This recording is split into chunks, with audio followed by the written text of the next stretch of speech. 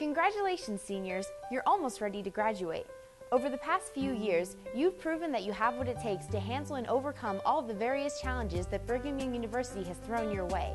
However, before you leave this campus, there is still one more task that you must complete.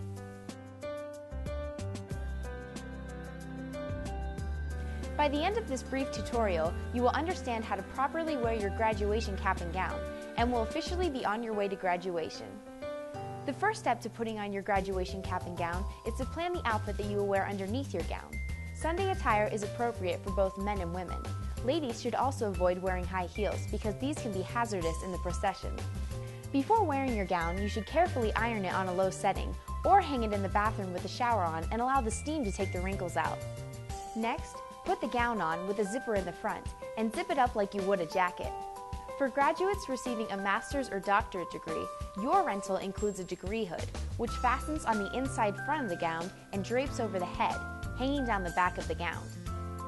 The next step is to put on your cap. You can locate the front of your cap by looking on the inside of the bottom of the cap where it says front.